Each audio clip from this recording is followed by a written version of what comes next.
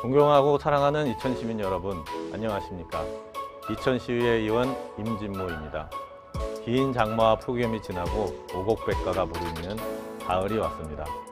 작년에 시의원에 당선되고 1년 남짓 동안 쉼 없이 달려왔던 것 같습니다.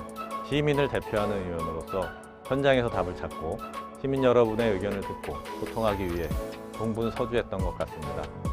항상 아낌없는 관심과 격려를 해주시는 시민 여러분께 감사의 마음을 전합니다.